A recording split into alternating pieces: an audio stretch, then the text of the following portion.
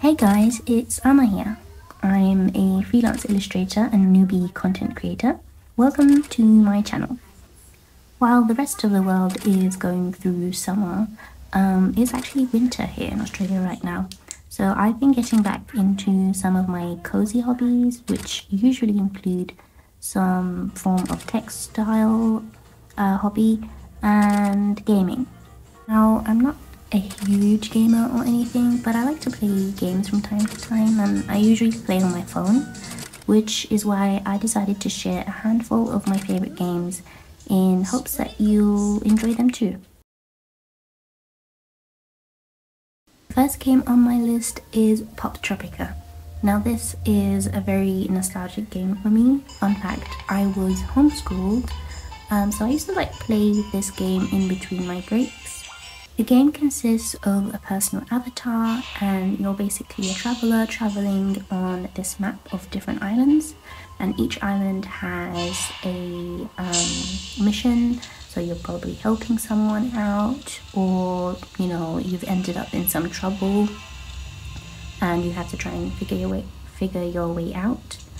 Um, it's so much fun. You collect items different outfits and clothing it's a game I really like to get lost in. Usually this is my go-to.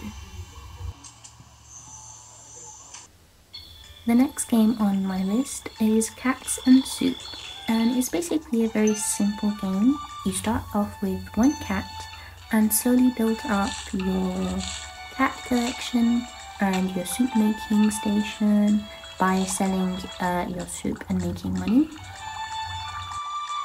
can also add new facilities and take pictures of your cats doing different activities.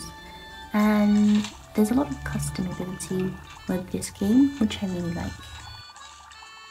This game is Animal Restaurant. It's a game I installed to prevent myself from scrolling through TikTok. The simple objective of this game is to basically run this restaurant efficiently by taking customers' orders you get to upgrade your equipment and the dishes you get to serve as the game goes on. Next up is another nostalgic classic. This is Papa's Freezeria. There seems to be a theme with, the games I play. Apparently, I really want to run a food cafe or store of some kind, which is really funny.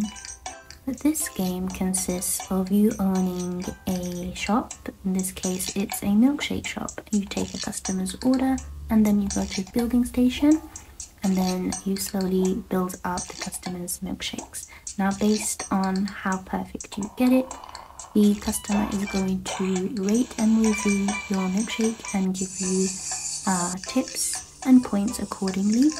You then get to take said tips and build up your inventory and upgrade your equipment and even add decorations into your store. Now the customers vary, so there are some customers that are easier than others. Definitely a game that keeps you on your toes. This last one isn't really a game per se, but it's a character building app um, you get to customize an avatar of your choosing with different hairstyles, different hair colors, different clothing. The details are so intricate from the socks to the shoes. And so far, I've created an avatar for each member of my family.